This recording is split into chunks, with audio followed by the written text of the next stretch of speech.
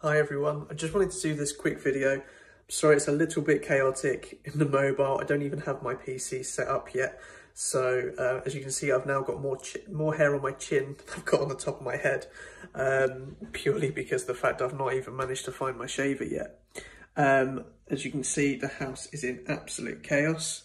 Uh, but we are in and we are now living in this house, uh, which is quite mad considering the fact that some of the light switches aren't even on the walls yet. Um, but the reason that I'm making this video is to talk to you about Square. Um, I am invested in Square, but not within my standard portfolio. The reason for that is purely for the risk score basis. So I can't include another high risk stock in my portfolio.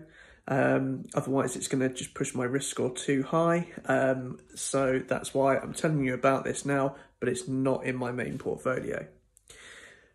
So Square is a the the the main reason that I want to or the reason I'm investing in Square is because I believe that it's very much a market disruptor. Uh, if you compare it to PayPal, for example, it's PayPal's its closest competitor. Um, PayPal very much focuses on online transactions. If you are an online only seller, PayPal is the perfect solution for your business. If, however, you are a brick and mortar store um, or you're a chain of stores and you also have an online platform, then Square is the best platform for you or best payment provider for you.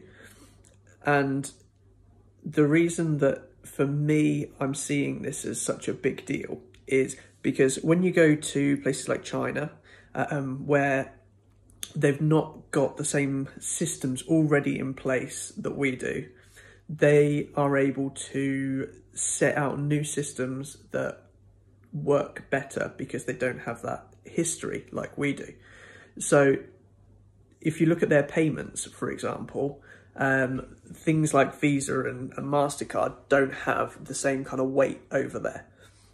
You have a lot more people that are paying by mobile transactions through paying on QR codes. And that's not quite that popular here yet. You do, we do have it, you know, you can get um, PayPal and Square both provide QR codes that people can scan uh, and move forward with. At the moment, where we still have that legacy, PayPal, um, Mastercard and Visa, everyone's still very much like locked into that, and I think it's going to take a, a while for us to kind of move away from that. Obviously, we've got Apple Pay, which is probably the closest thing that to this kind of thing now. Um, but going forward, I really don't see Visa and MasterCard uh, performing quite as well as they have been historically, uh, to the stage where I would even consider shorting the two companies. Now, that's not actually a recommendation because I'm not going to physically short either of those two companies at this stage, um, but my point being, over the long term, I don't think that they would be a good investment. So, the reason that I think as well that Square is a um, market disruptor is because of the fact that they are constantly coming up with new products, they're constantly expanding on their existing portfolio, and they're finding new ways of reaching new customers and also providing their existing customers with as many extra services as they can to really milk the customer for as much money as they can. Um, so if you look at, for example, the new Cash App, um, the fact that it's now integrated with Bitcoin, that you can buy cryptocurrencies on there, that you can trade, you can you can buy stocks on the, the app. They're really enticing people to start using the, the Cash App. And if you think about the fact of how easy it would be that if you've got the Cash App and you go into a store that uses Square as their selling software, then the transactional cost for Square, as an example, is going to be considerably less. So the more businesses that they've got using the Square software and the more customers that they've got overlapping is going to increase their profits and it's going to mean that they'll be able to invest in more ways to encourage their customers to shop at their own stores as well. So they're constantly coming up with new ideas and new products, and that's what excites me. It's not necessarily to say that I think, for example, the Cash App is some huge innovation that's going to make the company billions of dollars. It probably will, but that's not it. It's not their existing products, it's the potential of what they will become.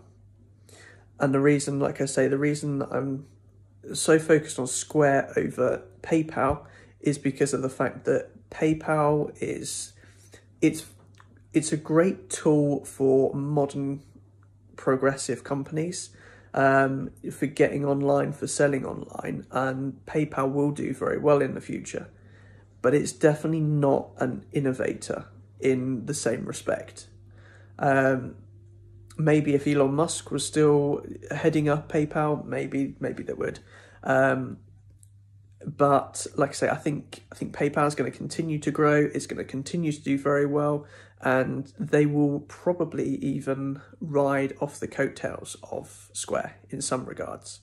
Um, and like I say, I, I see Square being um, as big as some of the major banks because I think that they will continue to bring out new products, they will continue to innovate, and they will continue to expand their lineup. So, yeah, there's that. Um, the Square do have their earnings coming out in about an hour and 45 minutes from when I'm filming this. So I don't know if, if uh, this will come out before or after earnings.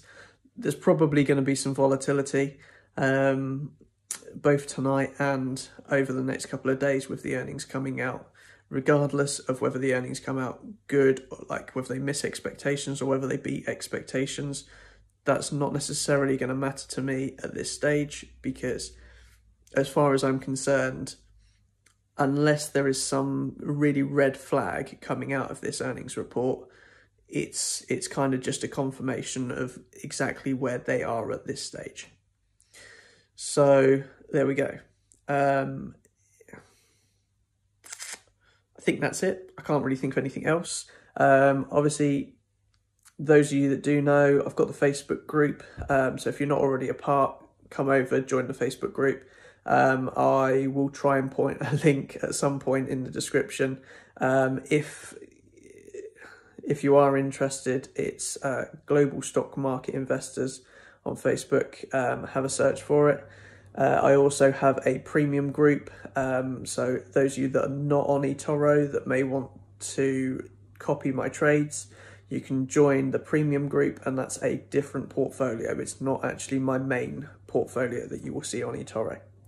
Um, I think that's it for everything. So uh, hopefully my next video will be set up with proper camera and proper lighting um, and hopefully a little bit less face fuzz.